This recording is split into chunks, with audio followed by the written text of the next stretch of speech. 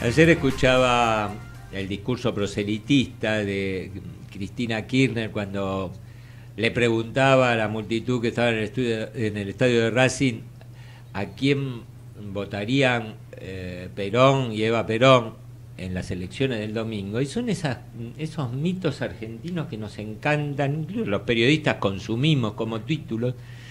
Pero la verdad que pensaba en una cosa.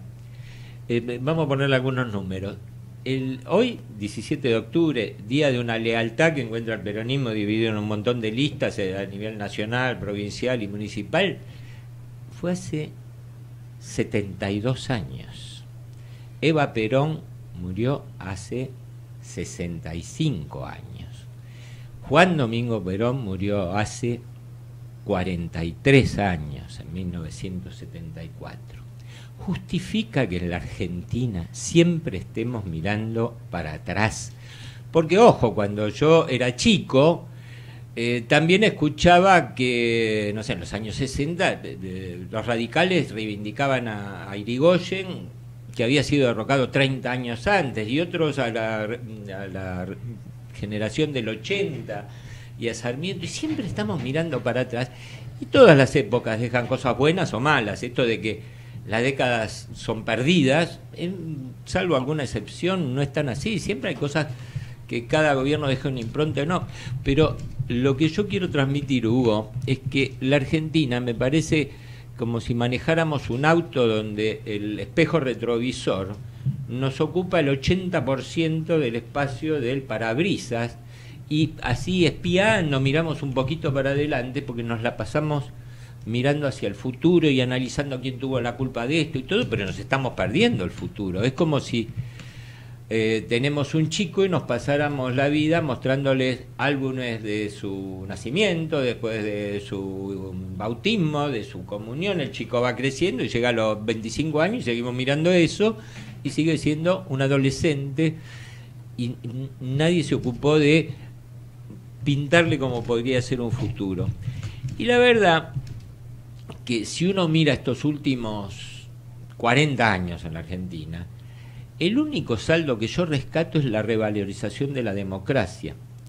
Nosotros nos criamos en una generación, y vos lo debéis recordar igual que yo, nos decía, acá tiene que venir un golpe de Estado, tiene que venir con la mayor naturalidad, como si esa fuera la salvación. Y la verdad, que si bien los militares cometieron atrocidades, porque no están preparados para gobernar, esa no es su función, este, ojo, los políticos también cometieron barbaridades buscando atajos.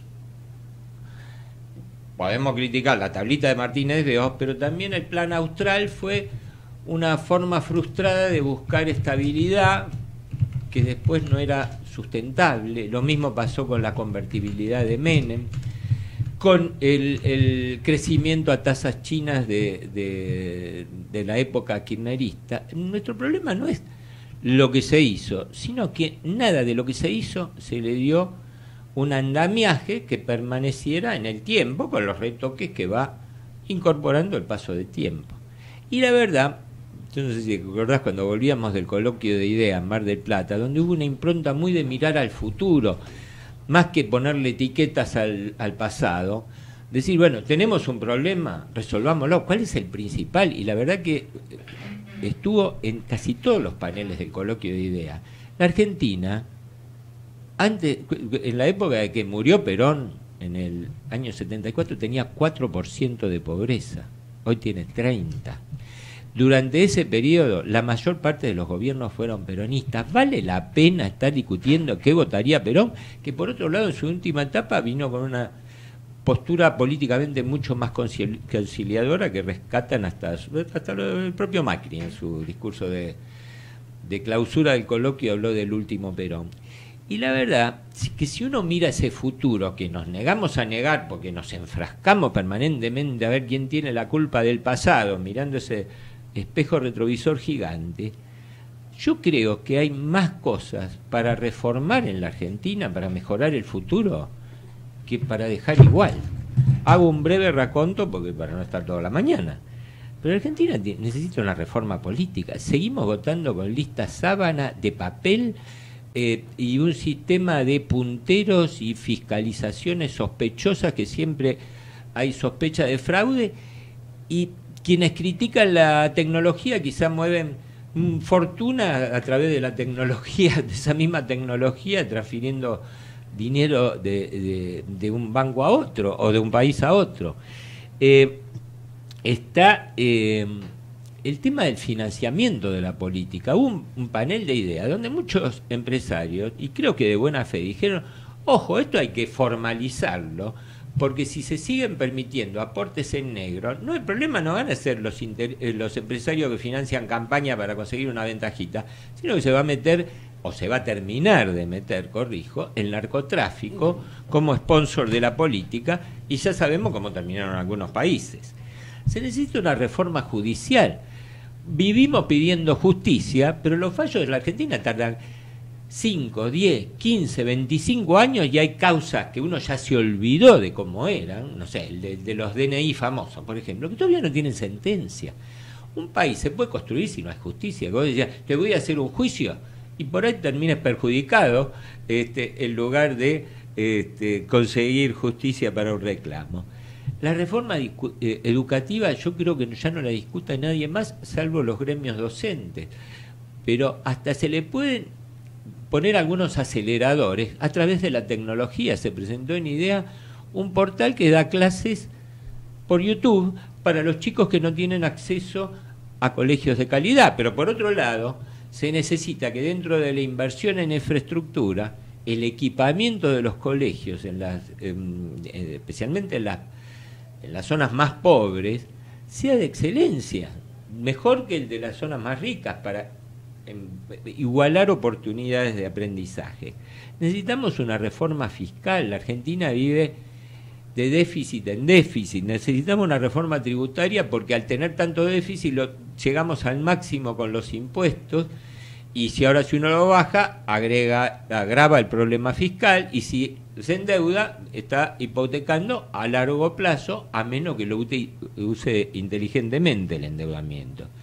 Se necesita una reforma laboral con 30% de pobres. No podemos pretender que la única forma sean eh, de relacionamiento laboral la reforma, la ley de contrato de trabajo, sancionada justamente en 1974, en el año que murió Perón. No había internet, no había teléfonos celulares, no había este, informática en aquella época. Pueden ser los estatutos, que es una suerte de quintita que tiene cada sector, incluidos los propios periodistas como nosotros, la única forma de, relacionamiento laboral hacia el futuro.